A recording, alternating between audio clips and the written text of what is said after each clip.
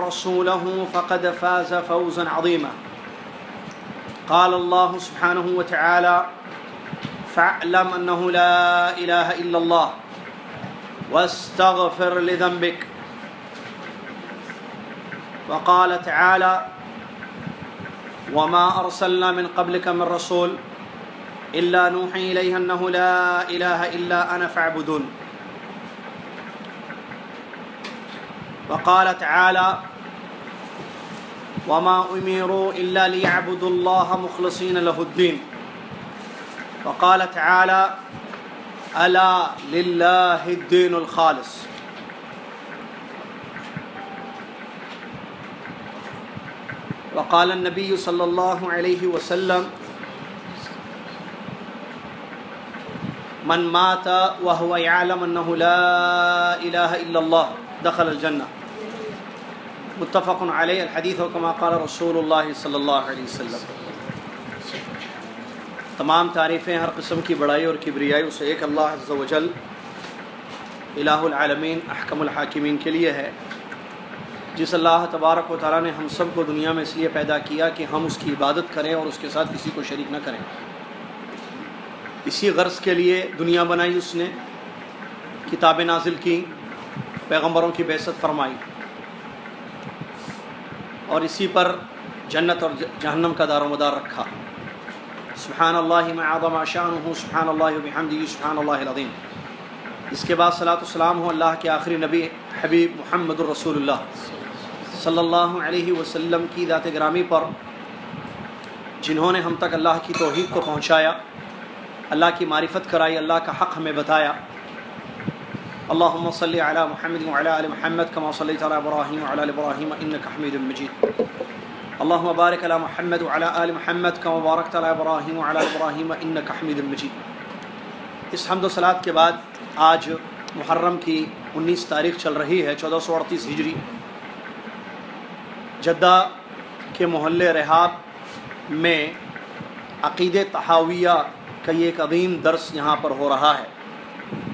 जैसा कि आप जानते हैं, पिछले जुमेरात हमने इसको शुरू किया। दुनिया में सबसे अहम दर्स अगर कोई हो सकता है तो वो अकीद तोहद का ही दर्स हो सकता है। इसलिए कि तोहद हम सब की ज़िंदगी का मकसद है। तोहद तमाम पैगंबरों की बेसत का मकसद है। तोहद आसमान से किताबों को उतारने की वजह है। जन्नत व जहन्नम का दारो मदार तोहद पर है। जितनी जंगें लड़ी गई, जितने गजवात हुए, जानों की कुर्बानियाँ दी गई, तोहद, ला इल्लल्लाह की खातिर लड़ी गई। तोहद से बढ़कर कोई चीज़ नहीं है, दीन का असास, दीन की बुनियाद तोहद है। और जिसके पास तोहद है, उसके अमाल अल्लाह के यहाँ कबूल होते हैं। और जिसकी ज़िंदगी तोहद से खाली हो, उसका कोई अमल ऊपर नहीं जाता, अल्लाह ताला उसको कबूल नहीं करता। मुकल्लफ, इंसान और जिन, जो मुकल्लफ हैं, ज़िम्मेदार हैं, उन पर सबसे पहला वाजिब काम तोहद को सीखना है। तोहद का इल्म हासिल करना है, अकीदों को दुरुस्त करना है, क्योंकि यही दीन की असास है, इस्लाम की बुनियाद है। पूरा कुरान मुख्तलिफ़ अंदाज से तोहद की दावत देता है। हर पैगंबर ने अपनी कौम को तोहद की दावत दी। पैगंबरों की तबलीग का मरकज़ दावत तोहद रही। लिहाजा तोहद के दर्स से अहम कोई दर्स नहीं हो सकता। कुरान में तोहद, हदीस में तोहद, प्यारे नबी वसल्लम की सीरत में तोहद, सहाबा की ज़िंदगियों में तोहद। लिहाजा आज हम जिस माहौल से गुज़र रहे हैं या जिस दौर में हैं, ये फितनों का दौर है। शिरक और बरवरीत और जुल्म ज़्यादती का दौर है। ऐसे दौर में अमन वाली अगर कोई चीज़ हमें नसीब हो सकती है तो वो तोहहीद है। मैंने बताया था पिछले दर्स में, मौजूदा दौर में हर जगह फितने चल रहे हैं। हर इंसान अमन का तालिब है। अमन, पीस, शांति, दुनिया की आज सबसे बड़ी ज़रूरत है। अल्लाह ने कुरान में फरमाया अल्लादीन आमन जो ईमान लाकर अपनी ईमान को शिरक से बचाएँगे, उन्हीं के लिए अमन है, वही हिदायत पर है। यानी अमन के लिए भी तोहहीद का होना ज़रूरी है। बग़ैर तोहहीद के दुनिया में अमन कायम नहीं हो सकता, ना आखिरत में हम अमन में रह सकते हैं। इस सिलसिले में ये बड़ी अजीम तरीन किताब इमाम तहावी रहमत की अकीद तहाविया, जो बहुत अजीम तरीन किताब है। जामिया इस्लामिया, जो मदीना की यूनिवर्सिटी है, दुनिया की मानी हुई यूनिवर्सिटी, उसमें अकीदे में जिस किताब को सेलेबस में रखा गया है, वो यही किताब है जो हम यहाँ पिछले जुमेरा शुरू किए हैं और उसकी एक इबारत हमने पढ़ ली है, सिलसिला जारी है और अल्लाह के फजल करम से जैसा कि हमने वादा किया था, पूरा किया, आपके हाथों में किताब है। ये किताब अरबी में है। उर्दू में नहीं है ये किताब। क्योंकि किताब अरबी में है, हम पढ़ाएँ। ये किताब आपको रखनी होगी और इस किताब में और आपको कलम भी दिए गए आप अपना नाम रख लें किताब में। हर जुमेरात ये किताब आपको लानी है, मर्द भी और ख़वातीन भी। ये किताब आपको लानी है। ठीक है? इसमें जो है पॉइंट्स हैं अकीदे के वन टू थ्री अरबी में लिखे गए वाहिद इतने दला था। One two three four five six seven eight ये सब पॉइंट्स हैं। आखिरी पेज पर देखिए आप। कौन सा नंबर है लास्ट पेज पर? जो पेज नंबर थर्टी टू है। पॉइंट नंबर क्या है? वन थर्टी फोर इसका मतलब इस पूरी किताब में वन थर्टी फोर पॉइंट्स हम पढ़ेंगे। एक सौ चौंतीस पॉइंट्स पढ़ेंगे। तो आपको करना क्या है, सुनिए। अब आज के दर्स में हम इंशाल्लाह पाँच पॉइंट्स पढ़ेंगे। तो आज के दर्स में जब आखिरी में आपको पता चल जाएगा दर्स ख़त्म होते वक्त के कितने पॉइंट्स पढ़ लिए तो आपके पास पेन है तो उससे आप टिक मार दीजिए उसमें कि ये पॉइंट्स हो गए। डेट लिखनी हो तो ऊपर डेट भी लिख ले, अच्छी चीज़ है साइड में। और ये जो बाजू जगह आपके लिए रखी गई है, देखिए, ये ये जगह है स्पेस है ये। यहाँ आपको अपनी ज़बान में जो भी आप सुन रहे हैं, फ़ायदे या जो भी चीज़ें पॉइंट्स वो सब लिख सकते हैं। ये आपकी किताब है, आप कुछ भी लिखिए इसमें जो भी आपको समझ में आ रही है चीज़ें, आप अपनी ज़बान में इसमें यहाँ भी, इस पेज पर भी, देखिए, पूरा पेज खाली है आप इस पेज पर भी और ये आधे पेज पर आप चीज़ों को लिख सकते हैं। इसीलिए ऐसे इसको बैंड किया गया है, ऐसे इसको तैयार करके आपको दिया गया है, ताकि ये सब चीज़ें आप लिखें और इन इसका इम्तहान भी हम लेंगे।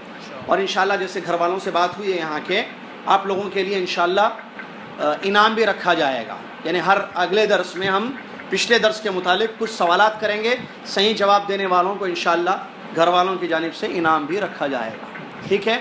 और हमने बताया था कि तरीक़ेकार क्या होगा, यहाँ पर तालब इल्म इन हमारे जो शागिर्द हैं ये, इस घर के बच्चे हैं, हदेफ़ा ये इबारत पढ़ेंगे और मैं उस इबारत को तर्जमा करते हुए उसकी तशरी आपकी खिदमत पे पेश करूँगा। और इससे ही हमारा दर्स होगा ठीक है? चलिए अब इबारत पढ़ेंगे इन हुजैफ़ा। करीब आ जाइए।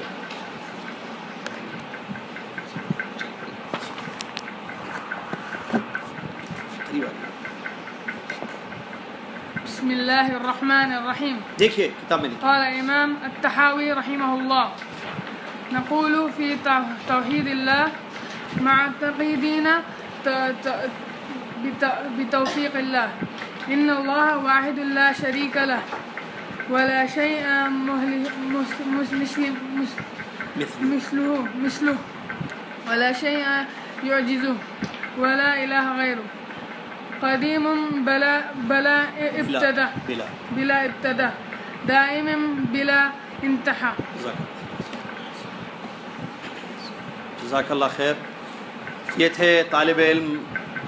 हदैफ़ा जिन्होंने अभी आपके सामने अरबी में इबारत पढ़ी। अल्लाह इनको जजाय खैर अता फ़रमाए, लोगों को फेस करके कुछ पढ़ना ये बहुत बड़ी बात होती है। लोगों को कुछ फेस करके पढ़ना या कोई चीज़ पढ़ना ये मामूली बात नहीं होती है, बड़ी बात है। बहरहाल, बच्चे ने, तालब इल्म ने बहुत अच्छा पढ़ा। इन यही सिलसिला जारी रहेगा। अब पूरी तवज्जो से सुनिए और जकमुल्ला खैर, मैं कह रहा हूँ ना, इतनी अहम किताब है कि मैं कुछ भी बोलूँ, कम है इस किताब के बारे में। एक तो तोहहीद की किताब है, फिर बहुत बड़ी किताब है, अकीद ताविया तो आपसे गुजारिश है कि किसी किस्म का दर्स ख़त्म होने तक खलल ना हो। मुझे भी डिस्टर्ब ना करें, ख़ुद भी डिस्टर्ब ना हो। सबसे बड़ी मौजूदा दौर में डिस्टर्ब करने वाली चीज़ जेबों में है। या तो उसको स्विच ऑफ़ कर दें या साइलेंट पर कर दें, जैसे मैंने किया है। और वाइब्रेशन ऑफ़ रखें, ताकि दर्स में खलल ना हो। किसी किस्म का खलल दर्स में बर्दाश्त नहीं किया जाएगा। क्योंकि पूरी तैयारी एक हफ़्ते की होती है, उसके बाद आपके सामने हम बैठते हैं इस अहम तरीन दर्स को पेश करने के लिए, जो तोहहीद का दर्स है। ठीक है? चलिए। इमाम तहावी रहमतुल्लाह बयान फरमाते हैं, नक़ूल फ़ी बी तोफ़ीक़िल्ला हम अल्लाह की तोहीद के बारे में एतक़ाद रखते हुए अल्लाह की तोफ़ी से ये कहते हैं इन वाहिदुल्ला शरीक अला यकीनन अल्लाह एक है, उसका कोई शरीक नहीं है। वला शई अमिथलो और उसके जैसी कोई चीज़ नहीं है। ये, इसको फ़ैन को कम कर दें या बंद ही कर दें, मेरे लिए। वला शई अमिथलो और उसके जैसी कोई चीज़ नहीं है। वला और कोई चीज़ उसको आजिज़ नहीं करती। वला गैरो और उसके सिवा कोई मबूद नहीं है, सच्चा। और उसके सिवा कोई सच्चा मबूद नहीं है। कदीम बिला इब्तदा, शुरू से है बग़ैर इब्तदा के। शुरू से है, उससे पहले कोई नहीं। दाइम बिला इंतहा हमेशा रहेगा बिला इंतहा के। ये पाँच पॉइंट्स इंशाल्लाह आज के दर्स में आपकी खिदमत में पेश किए जाएँगे। अब तवज्जो से सुनिए। और तवज्जो बहुत ज़रूरी है। उसके बाद जो नोट करना है, बाद में नोट कर लीजिए। पहले सुनिए तवज्जो से। पिछले दर्स में हमने बताया था कि ये अल्लाह की तोहहीद के बारे में कहते हैं, नक़ूल फ़ी तोहहीद अल्लाह की तोहहीद के बारे में हम कहते हैं मोतकीन अभी तोफ़िल्ला ये एतक़ाद रखते अकीदा रखते हुए अल्लाह की तोफ़ी से। तो तोहहीद के बारे में इन्होंने कहा है, अकीदा रखते हुए अल्लाह की तोफ़ी से। बड़ी अच्छी इबारत है ये। अल्लाह की तोहहीद ये, जैसा कि मैंने अभी थोड़ी देर पहले आपको बताया कि ये हम सब की पहली ज़िम्मेदारी है सीखना। जैसे कोई बच्चे को स्कूल में डालते हैं तो उसको पहले A B C D alphabet सिखाते हैं ना? तो ये दीन की अल्फ़ाबेट सब दीन की बुनियाद है ये तोहहीद सबसे पहला सबक इंसान को कौन सा सीखना है? सबसे पहले इंसान को कौन सा सबक सीखना है? एक जिन को सबसे पहले कौन सा सबक सीखना है? तोहहीद तोहहीद ये अव्वल वाजिब है और इसका इल्म हासिल करना ज़रूरी है। एतक़ाद रखते हुए अल्लाह की तोफ़ी से, अल्लाह की तोफ़ी के बगैर कोई काम नहीं होता। अल्लाह की हिदायत के बगैर कोई काम नहीं होता। इसीलिए पैगम्बरों ने ये बात कही है, जैसा कि शुएब अलैहिस्सलाम के बारे में कहा अल्लाह ताला ने बयान फरमाया, उन्होंने ये अपनी कौम से कहा, वमा तोफ़ी अल्ला बिल्ला मुझे तोफ़ी देने वाला कौन है? अल्लाह है। अल्लाह ही के हाथ में तोफ़ी है। अल्लाह जिसको तोफ़ी दे दे, वो मुवफ़ है। अल्लाह जिसको तोफ़ी ना दे दे, वो मुवफ़ नहीं है। जिसको दूसरे अल्फाज में आप कहते हैं, अल्लाह जिसको हिदायत दे, वो रास्ते पर होगा। अल्लाह जिसको गुमराह कर दे, उसको कोई हिदायत देने वाला नहीं है। इन नकला तहदीमन अहबब वलाकिन अल्लाह यहदीमन यशा। आप जिसको चाहे नबी हिदायत नहीं दे सकते, अल्लाह रब्बुल जिसको चाहेगा वो उसको हिदायत देगा। अल्लाह के नबी मोहम्मद अलैहि वसल्लम ने हदीस में आता है, मुआद इबन जबल रदी अल्लाह तु को ये कहा एक मरतबा, ए मुआद, मैं तुमसे मोहब्बत करता हूँ। या मुआद, इन्नी उहब्बु का फ़िल्ला ए मुआद, मैं अल्लाह के लिए तुमसे मोहब्बत करता हूँ। लिहाजा हर फ़र्ज़ नमाज़ के बाद, हर फ़र्ज़ सलाह के बाद इसको पढ़ना मत भूलना। अल्लाहुम्मा आइन्नी अला दिक्र का व शुक्र का व हसनी इबादतिक। अल्लाहुम्मा अला दिक्र का व शुक्र का व हसनी इबादत अल्लाह तो मेरी मदद फरमा अला दिक्र तेरे दिक्र करने पर। व शुक्र तेरा शुक्र बजा लाने पर। व हसन इबादतिक और तेरी अच्छी इबादत करने पर। ये दुआ अल्लाह के नबी अलैहि वसल्लम ने किसको सिखाई? जिस दुआ में अल्लाह से मदद मांगी जा रही है। तौफीक की बात रही ना। बग़ैर अल्लाह की मदद के हमको तौफीक भी नहीं हुई। तौफीक देने वाला, मदद करने वाला, ये अल्लाह ताला है। हिदायत देने वाला, अल्लाह ताला है। पूरा ही बंद हो गया है। थोड़ा स्लो कर दें तो। अल्लाह तबारक ताला के हाथ में हिदायत और तौफीक है। इसीलिए नबी अलैहिस्सलाम ने बिन जबल से कहा कि मैं तुमसे अल्लाह अल्लाह के लिए मोहब्बत करता हूँ, तुम हर फ़र्ज़ नमाज़ के बाद ये दुआ पढ़ो। क्या? अल्लाह, तू मेरी मदद कर। देखिए शेख इस्लाम इब्न तैमिया कहते हैं, दुआओं में सबसे अच्छी दुआ मुझे ये मिली। दुआएँ बहुत है ना? दुआएँ नबी ससम से जो साबित है, कितनी है? बेशुमार हैं। उनमें सबसे अच्छी दुआ शेखुल इस्लाम कहते हैं, रहमतुल्लाह अलैह, ये दुआ है। क्या है दुआ? अल्लाहुम्मा आइन्नी अला दिक्रिक व शुक्रिक। व हुस्नी सारी चीज़ें आ गई इसमें। ए अल्लाह, तू मेरी मदद कर। ए अल्लाह, तू मेरी मदद कर किस चीज़ में? तेरा ज़िक्र करने में। तो अल्लाह की मदद के बगैर ज़िक्र भी नहीं कर सकता हूँ मैं सही। यानी अल्लाह की तोफ़ी के बगैर मैं अमल नहीं कर सकता हूँ। वह शुक्रिक तेरा शुक्र। ज़िक्र, शुक्र और अच्छी इबादत। कोई चीज़ छूट गई इसमें? सारी दुनिया के अमाल इसमें आ गए। तो ये अल्लाह तबारक व ताली से उन्होंने मांगने के लिए नबी वसल्लम को सिखाया। और एक हदीस में, दुआ है अल्लाह महदीनी व सद्दिदनी। अल्लाह, तू मुझको हिदायत दे, मुझे सीधे रास्ते पर रखे। तो ये तौफीक और हिदायत अल्लाह से मांगी गई है। उसी पर अमल करते हुए, उसी सुन्नत पर, उन्हीं हदीसों पर मुसनफ़ रहमत मौलफ़ इमाम तहाब रहमत ने भी अल्लाह की तोफ़ी से इस बात को बयान किया। अब आगे क्या है? एक के बाद एक पॉइंट्स में अकीदे को बयान करते हैं पूरी किताब में। याद रखना ये बात। पहला पॉइंट क्या है? इन अल्लाह वाहिद शरीक अला यकीन अल्लाह, एक है, तन्हा है, उसका कोई शरीक इसमें उन्होंने तोहहीद को बयान कर दिया, पूरी तोहहीद को। इन अल्लाह वाहिद शरीक अला इसमें इस्बात और नफ़ी है। इन अल्लाह वाहिद इस्बात, ला शरीक अला नफ़ी। इन अल्लाह वाहिद, अल्लाह अकेला है। किस चीज़ में? अपनी ज़ात में अकेला। अपने कामों में अकेला। अपनी रबूबियत में अकेला, अपने असमा सिफात में अकेला, हम उसी अकेले की इबादत करें। तोहहीद की सारी किस्में इसमें आ गई। तो इन अल्लाह वाहिदुन यकीन अल्लाह एक है, इसका मतलब कि इसमें वहदानियत को साबित किया जा रहा है कि अल्लाह की ज़ात अकेला, अकेली ज़ात है। उसका कोई शरीक नहीं है।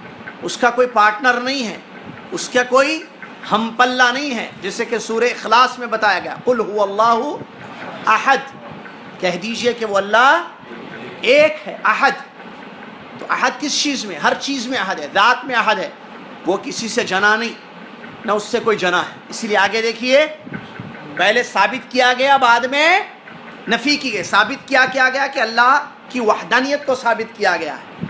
अल्लाह अकेला है अल्लाह तन्हा है, अल्लाह मुनफरद है, उसके जैसा कोई नहीं है, उसकी ज़ात में कोई शरीक नहीं है, उसके कामों में कोई शरीक नहीं है, उसके नामों में कोई उसका शरीक नहीं है, उसके सिफात में कोई उसका शरीक नहीं है, उसकी इबादत में कोई उसका शरीक नहीं है। कुल अल्लाह अहद, अल्लाह समद, देखिए अहद कहकर आगे जो है सुर अखलास में अल्लाह की वहदानियत को साबित किया जा रहा है, अल्लाह समद, अल्लाह बेनियाज हर हर मखलूक उसकी महताज। वो किसी का?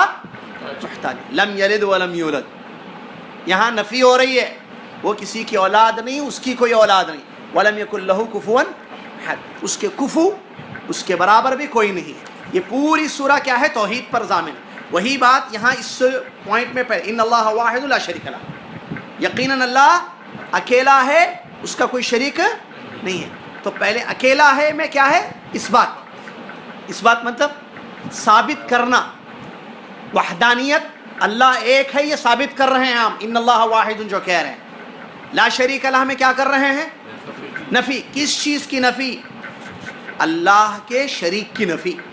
अल्लाह की ज़ात में कोई उसका शरीक नहीं। नफ़ी कर रहे आप। नहीं है शरीक कोई नहीं ना उसके नामों में शरीक है। ना उसके कामों में कोई उसका शरीक है। ना उसकी बंदगी और इबादत में कोई उसका शरीक है। और याद रखना तोहीद बंदे की उसी वक्त सही होगी जब ये दोनों चीज़ें होंगी। तोहीद उसी वक्त सही होगी जब हाँ क्या दो चीज़ें? इस बात और नफ़ी, इस बात और नफ़ी। इस बात मतलब साबित करना कि अल्लाह एक है बंदगी में, कामों में, ज़ात में, असमा में, सिफात और नफ़ी क्या करना? पार्टनर्स की शरीक, उसकी हर चीज़ की नफ़ी कर देना। और यही कलमे में है। ला इलाहा, क्या है हमारा कलमा? तोहीद का कलमा क्या है? ला इलाहा एक आदमी काफिर है, मशरक है, उसको तोहीद की दावत देनी है। उसको कलमा पढ़ाना है, जिसको कहते हैं, इस्लाम में दाखिल करना है। तो उसके लिए ये दो चीज़ें, उसको समझाना ज़रूरी है। कौन सी दो चीज़ें? नफ़ी और? लाइला तो पढ़ेगा वो। लेकिन लाइला में क्या समझाना खाली पढ़े पढ़ लेगा तो ख़त्म, मुसलमान। उसको पहले समझाते हैं। उसको हमारे दवा सेंटर में भी, या जद्दा में, या दुनिया में जहाँ भी लोग कलमा पढ़ते हैं ना, मुसलमान होते हैं। अभी पिछले हफ़्ते कई लोगों ने इस्लाम कबूल किया, फिलिपीनी और नेपाली और एक इंडियन ने। ठीक है? कई लोग इस्लाम में आते हैं। तो इस्लाम उनको कलमा पढ़ाने से पहले, जो ला कलमा है, कलमा पढ़ाने से पहले उनको नफ़ी और इस बात समझाना पड़ता है। कि ला इलाह में क्या कर रहे हैं आप? नफ़ी इल्लल्लाह में क्या कर रहे इस बात ला इलाह में नफ़ी किस चीज़ की? मबूदा ने बातिल की। या अल्लाह अल्लाह के आ, कोई चीज़ कोई शय इबादत के लायक नहीं है। नफ़ी हो रही। ला इलाहा। अच्छा गौर कीजिए। पहले नफ़ी है या इस बात है? पहले नफ़ी है। तोहीद उसी वक्त सही होगी जब नफ़ी होगी, फिर ये दो चीज़ें होना। सिर्फ़ नफ़ी होगी तो तोहीद नहीं हो आप ये कह रहे हैं, दुनिया में कोई चीज़ इबादत के लायक नहीं है। जी। दुनिया में कोई चीज़ इबादत के लायक नहीं है, खलास। आपने साबित किया या सिर्फ़ नफ़ी की? अगर कोई ये कहे, ला इलाहा फिल आलम, दुनिया में कोई चीज़ इलाह नहीं है। मुसलमान है? जन्नत मिलेगी? दरवाजे खोले जाएँगे जन्नत के? नहीं, काफिर है ये। क्यों? ये सबसे नफ़ी कर रहा है। सिर्फ़ नफ़ी काफ़ी नहीं है। नफ़ी के साथ क्या चाहिए? इसीलिए कहते हैं, अगर कोई ला इलाहा पढ़कर मर जाए तो मुसलमान नहीं हो सकता। इल्लल्लाह बोलना ज़रूरी है। जी। क्योंकि उसने नफ़ी कर दी सिर्फ़। ला इलाहा ला इलाहा बाद लोग विरद करते हैं।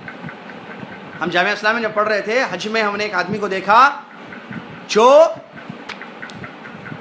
मस्जिद निमरा, अरफात की जो मस्जिद है, उसमें बैठ कर नफ़ी कर रहा है।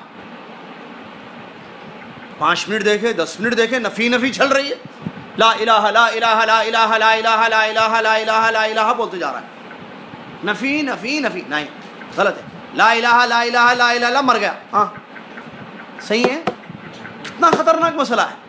नफ़ी खाली तोहीद के लिए ज़रूरी नहीं है। तोहीद कहते ही उसमें जिसमें नफ़ी भी हो और इस बात ला इलाहा के फ़ौरन बाद बोले ला इलाहा आज बोल रहे कल इल्लल्लाह बोल रहे आप। सही है? आज बोल रहे कोई ज़ात इबादत के लायक नहीं है, कल बोल रहे अल्लाह ताला है। दोनों एक साथ ये कलमा है ना? शहीद अल्लाह हाँ? कुरान है, कुरान। भरा पड़ा है कुरान तोहीद से। नफ़ी इस बात, नफ़ी इस बात, नफ़ी इस बात।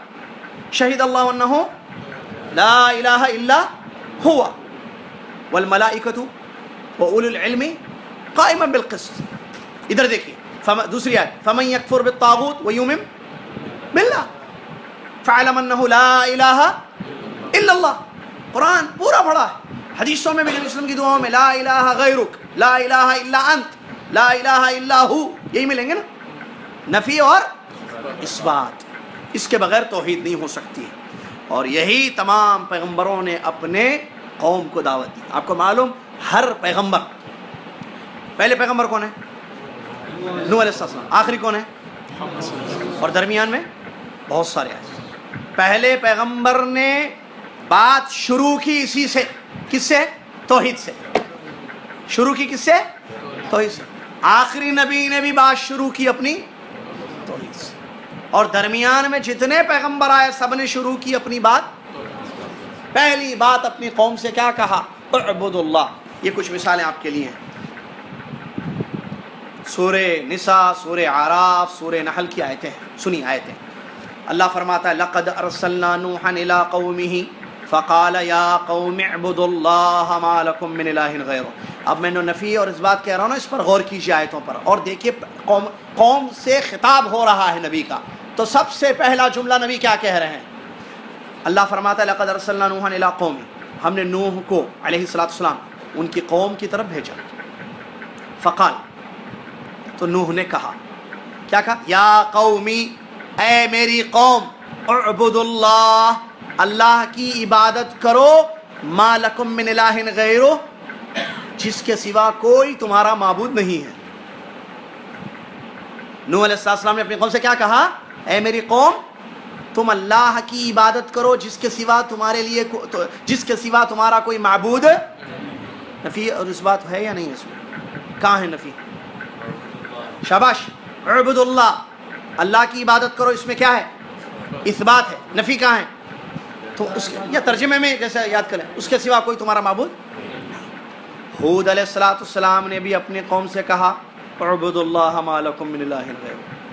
इबादत करो अल्लाह की, जिसके सिवा तुम्हारा कोई मबूद सालम ने अपनी कौम से कहा अबुदुल्लाकुम इबादत करो अल्लाह की, जिसके सिवा तुम्हारा कोई मबूद नहीं। शुएब सलाम ने अपनी कौम से कहा अबुदुल्लाकुम गैर.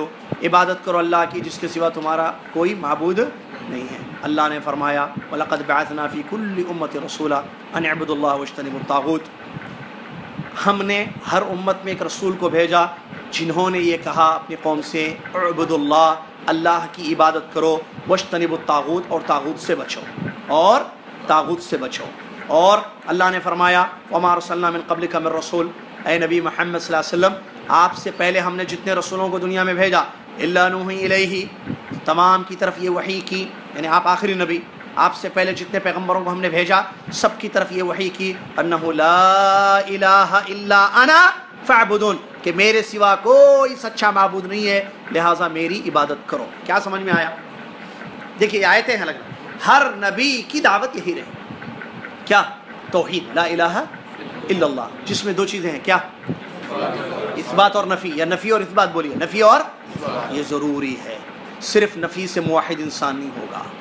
अल्लाह ने फरमाया कुरान में वाबुदल्ला तुशरिक भी शया अल्लाह की इबादत करो और उसके साथ किसी को शरीक मत करो।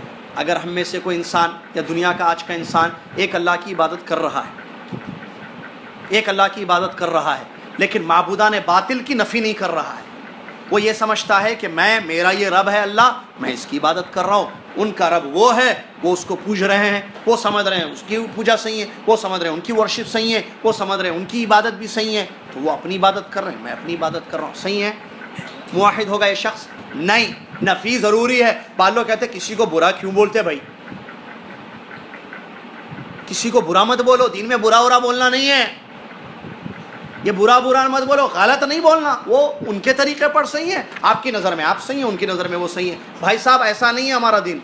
सॉरी ऐसा नहीं है दीन ये। यहाँ नफ़ी ज़रूरी है। या बोलना पड़ेगा, ये सब मबूद नहीं है।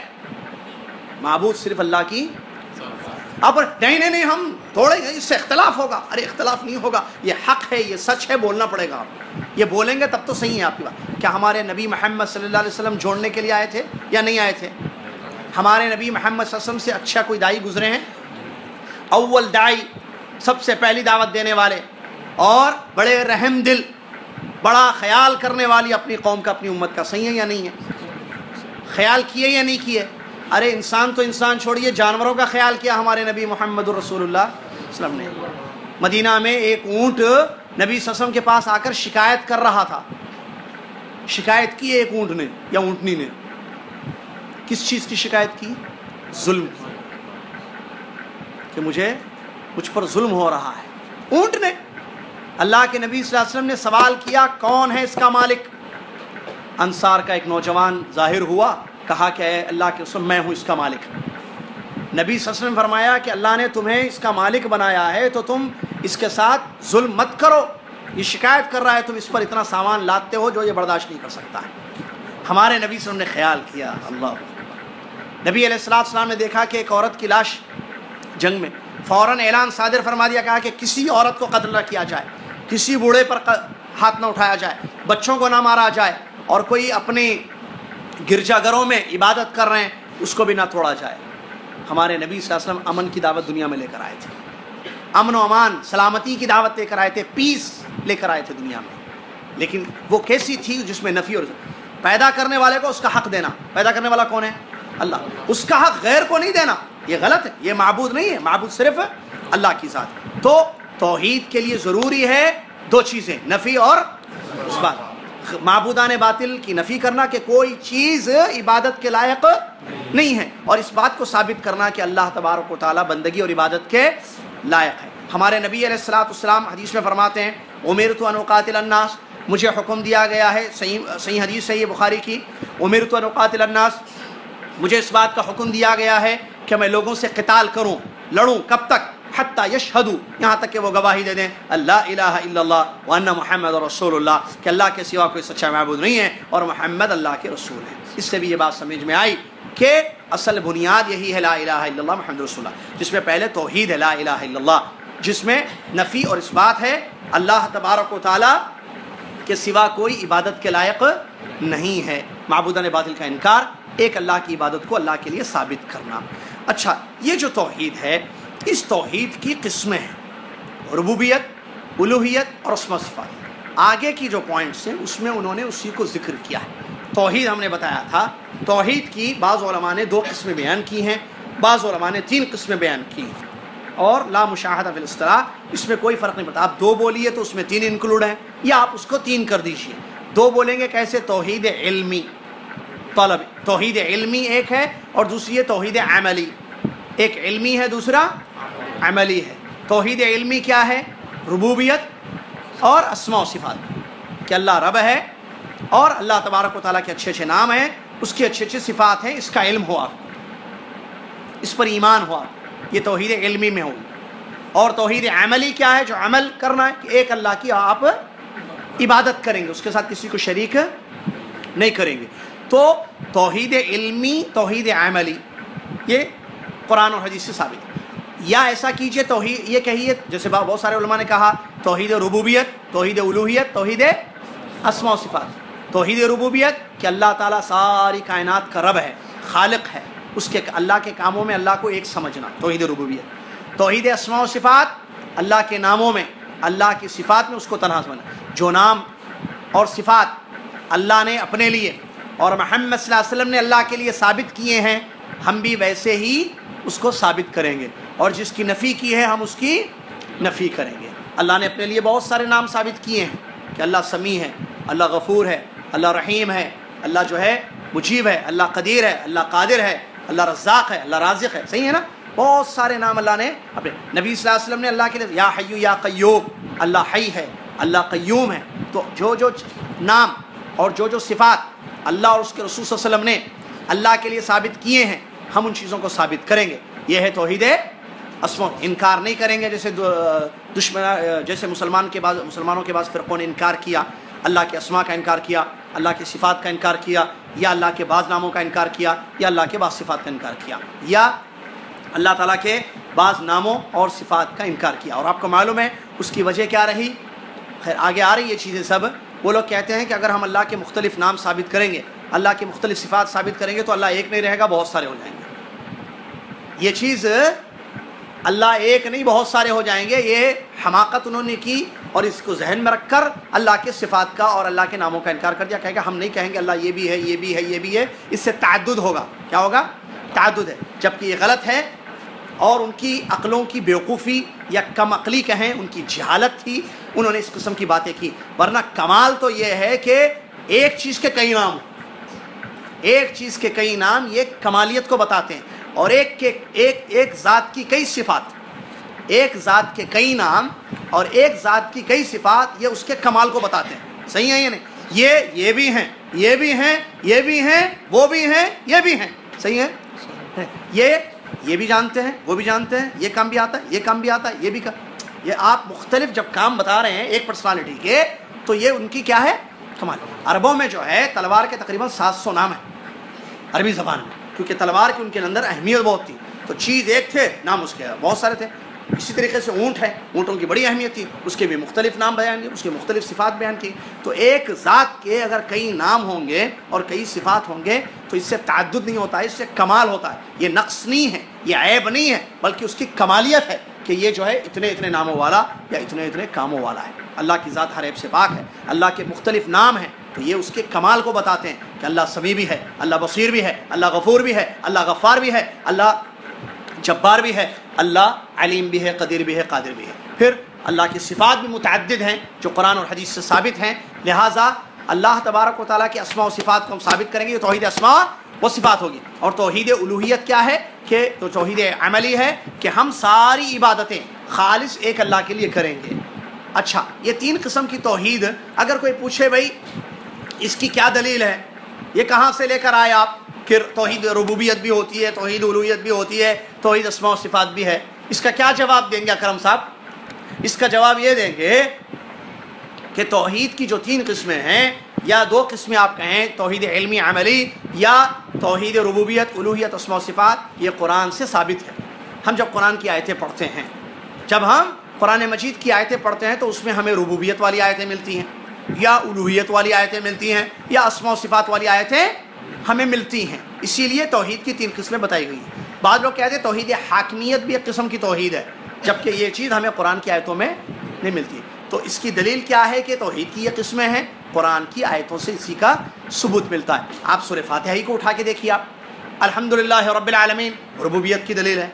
अर्रहमान रहीम, असमा व सिफ़ात की दलील है। ईया का नाबद या का नस्तीन तोहद उलूहियत की दलील है। अल्हम्दुलिल्लाह रब्बिल आलमीन, तमाम तारीफ़ उस अल्लाह के लिए जो सारे जहानों का रब है। अल्लाह सारे जहानों का रब है रबूबियत। अर्रहमान रहीम, असमा सिफ़ात। मालिक यौमिद्दीन, रबूबियत। मालिक ईया का नाबद या का उलूहियत। तो हमें मिलती है यही किस्म तो। और एक चीज़ याद रखें, जितने पैगंबर दुनिया में आए, जो अभी थोड़ी देर पहले मैंने बताया, पैगंबरों की दावत क्या थी? कौन सी तोहिद? उलूहियत। क्या कहा अपनी अपनी कौमों से पैगंबरों ने? अल्लाह की इबादत करो जिसके सिवा कोई अल्लाह को रब मानो बोले अल्लाह को रब मानो बोले, अल्लाह को खालिक मालिक मानो, ऐसा उन्होंने दावत में कहा। ऐसी तबलीग की उन्होंने? नहीं, क्यों? इसलिए कि वो मानते थे ऑलरेडी अल्लाह को रब, खालिक मालिक सारी कौम मानती थी। कुरान भरा पड़ा है सिलसिले में।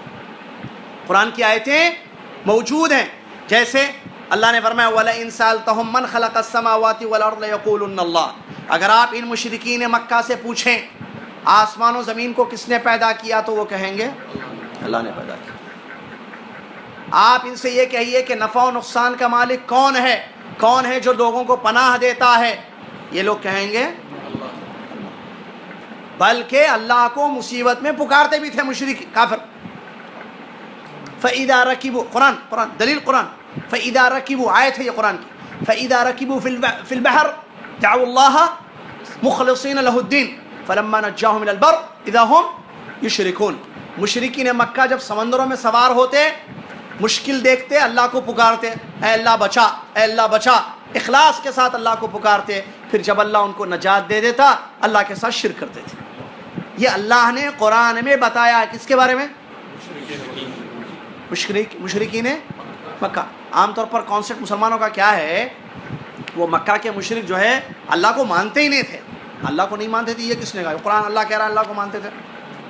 रब मानते थे, खालिक मानते थे नाफ़ नुकसान, नफ़ा नुकसान का मालिक मानते थे, बल्कि मुश्किलों में भी पुकारते थे। और ये सब चीज़ें हमने पिछली किताबों में पढ़ ली हैं यहाँ पर। कशफ शुबात में, किताब तोहहीद में। याद है? याद है। जिसको याद है, उसको याद है। जिसको याद नहीं है, उसको याद नहीं है। सही है ना? जिसको याद है, उसको याद है। जिसको याद नहीं है, उसको याद नहीं है। तो क्या करेंगे अब? तुम्हें याद हो कि ना याद हो? मुझे याद है सब ज़रा ज़रा।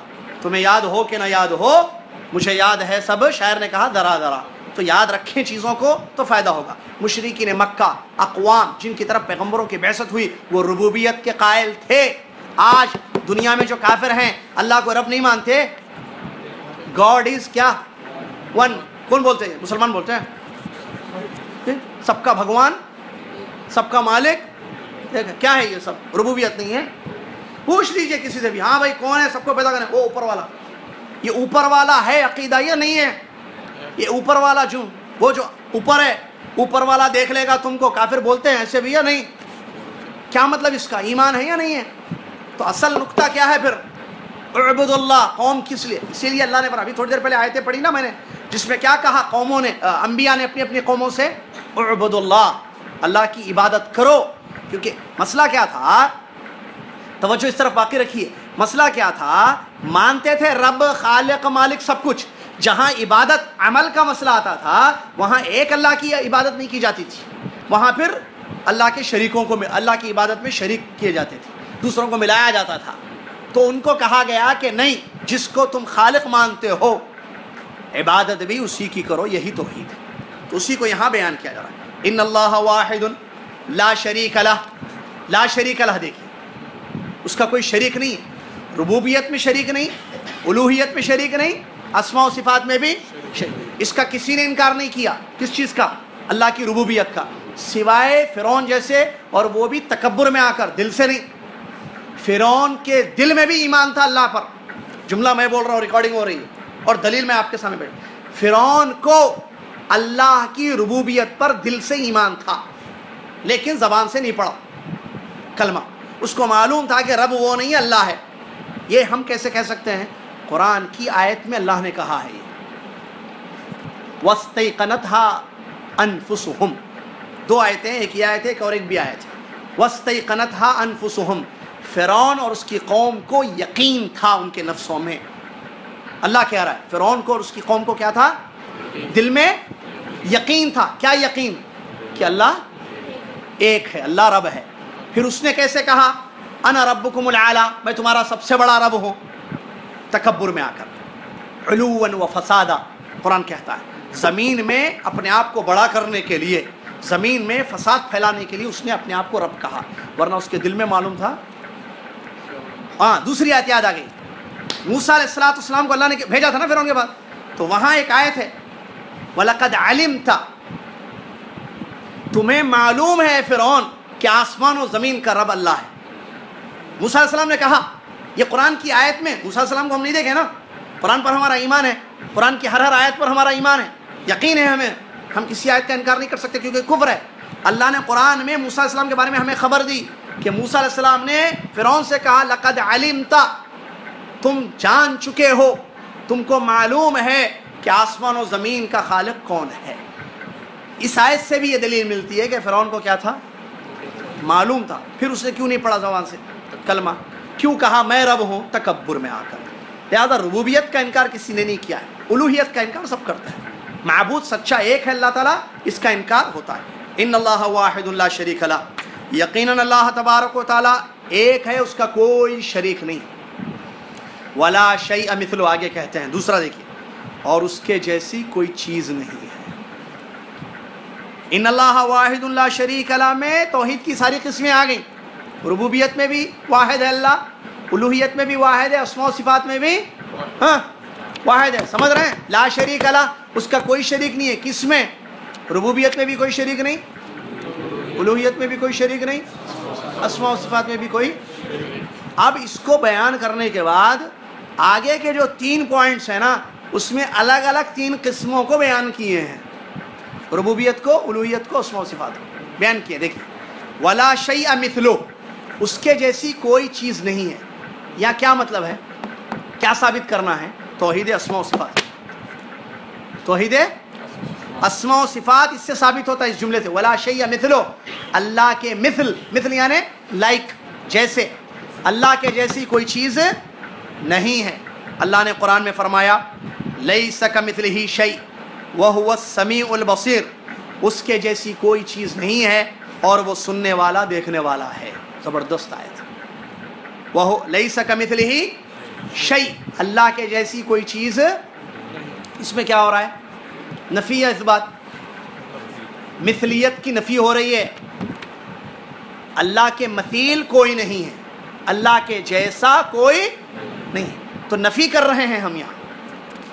नफ़ी सिर्फ़ रबूबियत में नहीं होती है, उलूहियत में, असमों से सब में नफ़ी और इस बात है। अल्लाह के सिवा कोई रब नहीं है, अल्लाह के अल्लाह के नामों के जैसे किसी के नाम नहीं है, अल्लाह के सिफात के जैसे किसी के सिफात नहीं है, अल्लाह के सिवा कोई सच्चा मबूद नहीं है। हर चीज़ में नफ़ी और इस बात है। तो लई सा कमितली ही शई में नफ़ी है। जब नफ़ी है तो इसका लाजमी तकाजा इस बात होता है। पॉइंट नोट करने का है। जब नफ़ी हो रही है तो इसका मतलब किसी चीज़ को साबित किया जा रहा है। अल्लाह के जैसी कोई चीज़ नहीं है तो इसका मतलब अल्लाह ताला हर अच्छी सिफत का हामिल है। एक कायदा है इस सिलसिले में, सुन, सुनिए। कुल्लु नफीन यतदमनु सबूत कमाल दिद्दी कुल्लु नफीन यतदमनु सबूत कमाल ही। हर नफ़ी, मेरे साथ हैं या नहीं है आप? जी, जूस पर मत जाए। साइड में रखे उसको। कुल्लु नफ़ी हर नफ़ी, मैं पी रहा हूँ, जूस नहीं पी रहा हूँ। पानी भी नहीं पी रहा हूँ। कुल्लु नफ़ी हर नफ़ी या तदमनु सबूत कमाल ही। उसके आपोजिट का कमाल को बताता है। क्या मतलब? हर नफ़ी। सुनिए मैं, मैं समझा रहा हूँ ना आप, समझिए बस। कुल्लु नफ़ी हर नफ़ी। ये कायदा है सलफ़ ने बयान किया है। असमा सिफ़ात के बाब में कायदा है। हर नफ़ी उसकी अपोजिट यानी जिस चीज़ की नफ़ी कर रहे हैं इसका मतलब उसकी अपोजिट क्या है? उसके कमाल को बताता है। मिसाल मिसाल से समझ? कोई इंसान किसी की तारीफ़ में कह रहा है कि आप बादशाह है, बड़ा अदल करता है लोगों में। रियाया का बड़ा ख्याल करता है तो बादशाह की तारीफ़ में वो कह रहा है, आप किसी पर ज़र्रा बराबर जुल्म नहीं करते। एक एक आदमी बादशाह के दरबार में खड़ा, उसके सामने ये कह रहा है, नफ़ी कर रहा है पॉइंट ए बादशाह, ये अल्लाह का फजल है कि अल्लाह ने हमें आपकी रियाया में, आपकी कौम में रखा, आपको हमारा बादशाह बनाया। आप किसी पर जुल्म नहीं करते। आप किसी को नहीं सताते। क्या हो रहा है यहाँ पर? नफ़ी हो रही है नहीं हो रही? किस चीज़ की? इससे क्या चीज़ लाजिम आ रही? है क्या बोलना चाह रहा है वो? अच्छा। यानी आप आदिल हो। देखिए, एक चीज़ होती है ये बोलना कि आप बड़े आदिल हो। आप बहुत अच्छे हैं। और एक है कि नफ़ी। तो नफ़ी से उसका अपोजिट को साबित करना होता है। और उसमें, देखिए, दोनों में फ़र्क है या नहीं है? ज़रा और कीजिए। एक में आप ये कह रहे हैं कि आप बड़े आदिल हैं। आप बड़ा इंसाफ करते हैं। एक आदमी बोल के बैठ गया। बादशाह के दरबार में एक आदमी उठा, बादशाह, मैं कुछ कहना चाहता हूँ। जी, बोलिए भाई। आप बहुत अदल इंसाफ के हामिल हैं। या आप बहुत अदल इंसाफ करते हैं। हो गई मेरी बात, बैठ गया। हाँ दूसरे भाई, आप बोलिए। आप किसी पर कभी जुल्म नहीं करते। दोनों में किसकी बात में वज़न ज़्यादा है? पहले में या दूसरे में? दोनों ने तारीफ़ की या नहीं की? ला इलाहा इल्लल्लाह। लईसा कमिथलिही शै नफ़ी, उसके जैसी कोई ज़ात नहीं हर नफ़ी, उसके जैसी कोई ज़ात नहीं है मतलब उसकी ज़ात हर कमाल, उसकी ज़ात कमाल की। उसके जैसा कोई नहीं है, इसका मतलब अल्लाह ताला के, नहीं, उसके जैसे कोई चीज़ हाँ उसकी कुदरत, उसकी कमालियत को बताया जा रहा है। कि वो अल्लाह ताला की ज़ात जो है हर अच्छी सिफत के हामिल है। इसीलिए आगे दो सा, साबित करने वाले आ, नाम बता दिए अल्लाह ने। वो वो समीउल क्या आयत के देखिए लई सकमित शई नफ़ी होगी उसके जैसी कोई चीज़ नहीं। वह हुआ समीउल बसीर। और वो सुनने वाला और देखने सुनने वाला देखने वाला साबित कर रहे हैं। और उससे पहले क्या हो रहा है? याद रखना हर नफ़ी उसके अपोजिट को के कमाल को बताती। और ये चीज़ें हमें मिलती हैं कुरान में। अल्लाह ने कुरान में फरमाया वह हल तलमलहू समिया। क्या तुम उसके जैसे किसी को जानते हो? कुरान की आयत हल तलमलहू सुर मरियम की आयत है ये, हल तलमलहू समिया। क्या अल्लाह के जैसे किसी को जानते हो तुम? मतलब कोई अल्लाह के जैसे नहीं है। अल्लाह ने फरमाया, फ़ला तदरिबूमिसाल अल्लाह के लिए मिसालें ना दो। अल्लाह के लिए किसी की मिसाल ना दो। क्यों? क्योंकि अल्लाह के जैसी कोई चीज़ है। तो अल्लाह तबारक व ताली के जितने सिफ़ात हैं, वो कमाल के हैं, याद रखिए आप। अल्लाह के जितने सिफ़ात हैं, वो कमाल के हैं। और कुरान में नफ़ी ज़्यादा है, बात नफ़ी और इस बात की हो रही है समझ रहे हैं ना? कुरान में नफ़ी ज़्यादा है या इस्बात ज़्यादा है? जवाब, कुरान में ज़्यादा इस्बात। नफ़ी कम है, और ये भी कमाल को बताने के लिए। नफ़ी कहाँ है? लई सकमित ही शही उसके जैसी कोई जात नहीं है। लम यलिद वलम यूलत नफ़ी है। औलाद की नफ़ी, वालदेन की नफ़ी। वह हुआ युतम वाला यतम वो खिलाता है, खाता नहीं है। खाने की नफ़ी।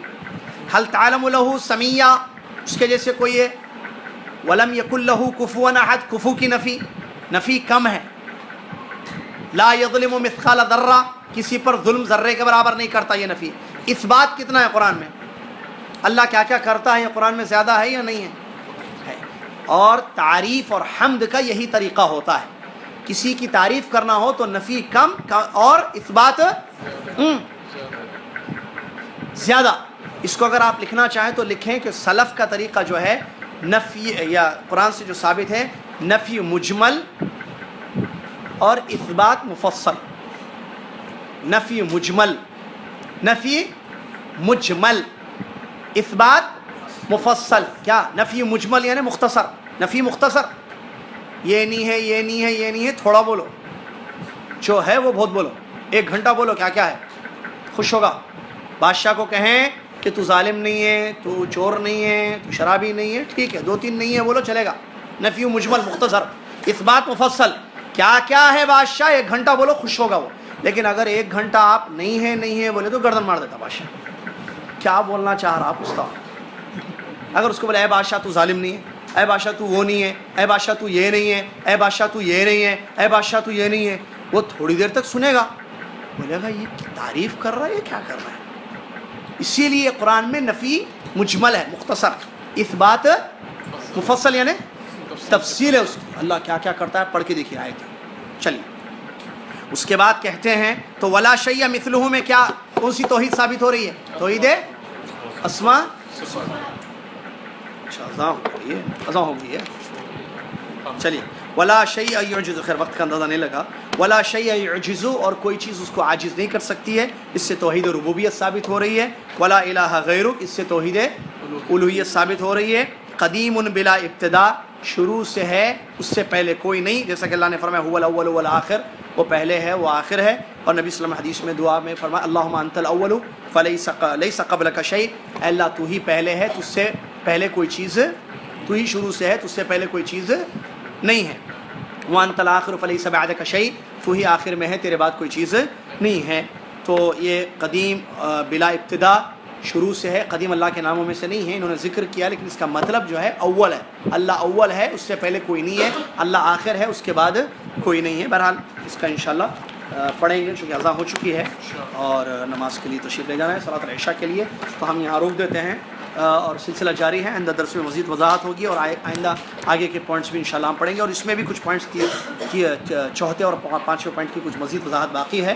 लेकिन चूँकि ईशा वाजिब है, सलाह अहम हो गया है। सीधे यहाँ से ईशा के लिए तशरीफ़ ले जाएँगे। और इस दरस में दर्स ख़त्म होने के बाद सवाल करने के लिए किसी को इजाज़त नहीं है। क्यों? इसलिए कि ईशा का वक्त बड़ा करीब होता है। ईशा की अज़ा पर हम ख़त्म करते हैं अज़ा के फ़ौरन, देखिए अज़ा के फ़ौर अज़ा के बाद ख़त्म हो गया है। अब ईशा की नमाज़ का वज़ू या तहारत वगैरह के मसाइल होते हैं। लिहाजा जिसको कोई भी सवाल करना हो तो बाद में करें। आज मत करें जुमेरात के दिन, क्योंकि यहाँ दर्स मगरब से ईशा तक होता है और ईशा की सलाह के लिए मस्जिद को जाना पड़ता है, जिसके लिए चंद कदम या चंद मिनट दरकार होते हैं। जजाकमल्ला खैर, कफ़ारत बंजिश पढ़ लें। सुबहानकल्लाहमदी का शदल्ला अस्तफ़िरकतुब कल सुबह दावा सेंटर में अकीद वासतिया का दर्स हो रहा है। सुबह साढ़े नौ बजे से ग्यारह बजे तक जजाकमल्ला खैर।